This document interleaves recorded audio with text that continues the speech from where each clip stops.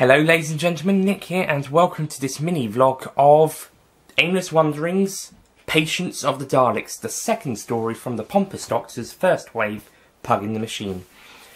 Now this one is automatically slightly better than Evil of the TARDIS because there's a bit more of a plot. This one, the Doctor and Martin arrive on a spaceship in a queue near the Earth.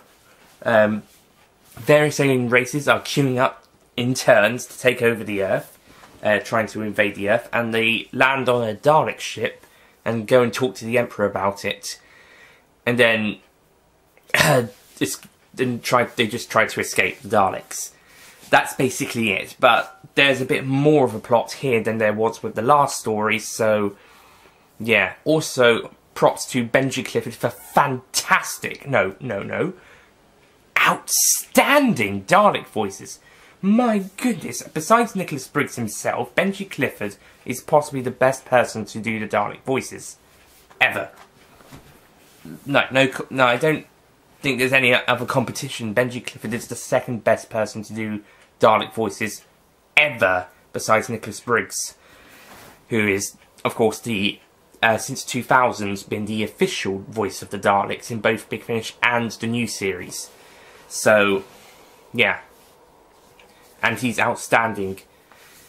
And yeah, so it's Benji Clifford. So, yeah, that's automatically made the episode a lot better. And the story, as I said, it's a lot. There's a lot more going for it, and there's a lot more commo, uh, sorry, comedic moments between the Doctor and Martin. They're a lot of fun, and yeah, more great music from Daniel Sharratt. I think again, it's mostly Billy Tracy on production, besides the music. Yeah, but we also get Benji's great Dalek voices, and he also does a great Emperor voice. So that's that's great. So, Patience of the Daleks, I am going to give a. Did I give it a seven or an eight? Um, I'm going to give it a seven out of ten because there's not an, amazing story, but it's slightly better than the last one. So, Patience of the Daleks gets a 7 out of 10. Yeah, that was Patience of the Daleks. Great fun and entertainment. And a great start for the Daleks.